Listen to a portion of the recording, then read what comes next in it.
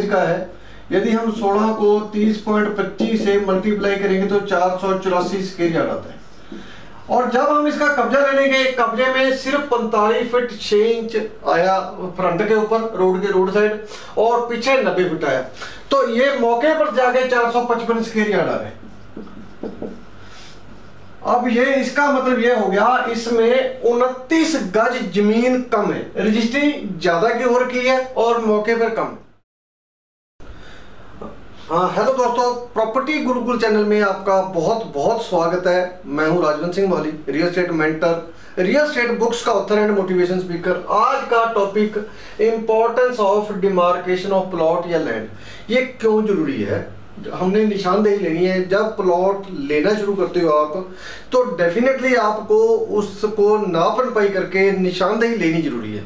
अब ये मैं प्लॉट एक लिखा है। एरिया ऑफ़ प्लॉट जो है, रजिस्ट्री में चार सौ चौरासी स्केयर यार्ड है।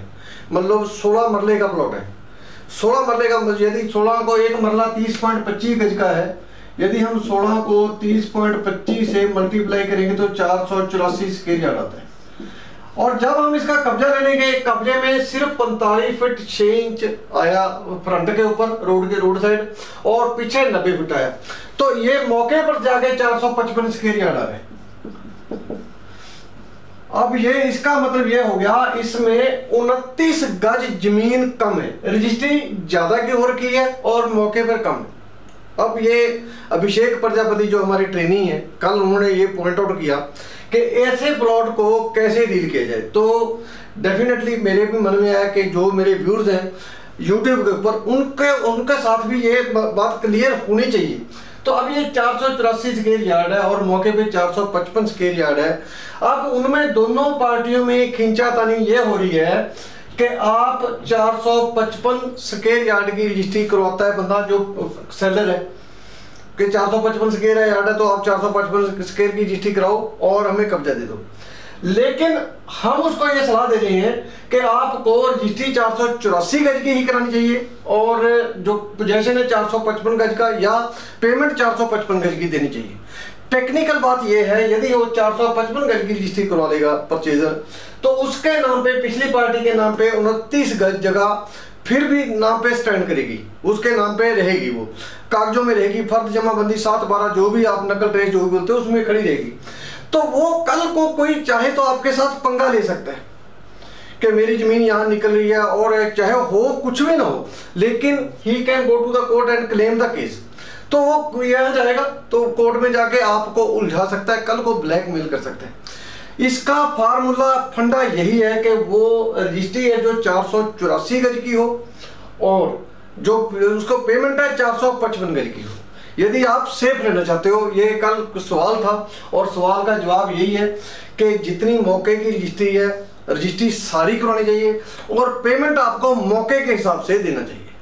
नहीं तो कल को कोई उलझाव हो सकता है इसमें। हो सकता है आप किसी चक्कर में फंस जाओ। हो सकता है आपके ऊपर कोई और पंगा कोई आ जाए, फ्यूचर में कोई पंगा आ जाए, कोई बैंक की तरफ़ से पंगा आ जाए, कोई आपने लोन लेना है। और सबसे बड़ी बात यह है, इन प्लॉटों में हमें ध्यान रखना बहुत ज़रूरी है। क्यों ध्यान रखना ज़रूरी है? क्योंकि ये ज़मीन ही तकरीबन एक लाख से ज़्यादा रुपए गज की ज़मीन है।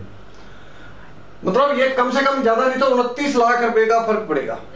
पहले भी मैंने एक जीर कपूर में प्लॉट बताया था जो उसमें मौके पे 160 गज ज़मीन कम थी और अट्ठावन हज़ार रुपये गज में ज़मीन बिकी हुई थी। तो 160 को यदि हम साठ हज़ार से मल्टीप्लाई करें छियानवे लाख रुपए का फ़र्क है। तो दोस्तों इस तरीके की आपके साथ गड़बड़ ना हो धोखा ना हो हमने इस तरीके के जो डी, डील्स हैं इस तरीके के केस हैं उनको बहुत ही ध्यान से मतलब डील करना है और बहुत ही ध्यान से इनको क्लोज करना है। ताकि आप आने वाले टाइम में आपके साथ कोई ऐसी गड़बड़ ना हो सके। आज के लिए इतना ही। वीडियो अच्छी लगे लाइक करना शेयर करना, इसके ऊपर चर्चा कर लेना। और बहुत जल्द एक नए टॉपिक के साथ आपके सामने होऊँगा। तब तक आप बने रहें चैनल के साथ। सब्सक्राइब करके घंटी वाला बटन दबा दो। सवाल हो कमेंट बॉक्स में, नए टॉपिक वीडियो वो भी कमेंट बॉक्स में लिख सकते हो। बहुत जल्द। हम नए टॉपिक पर वीडियो लेके आएँगे आपके सामने। इस तरीके के सोल्यूशन आपको देता रहूँगा। आप चैनल के साथ इसी तरीके से बने रहें। Thank you very much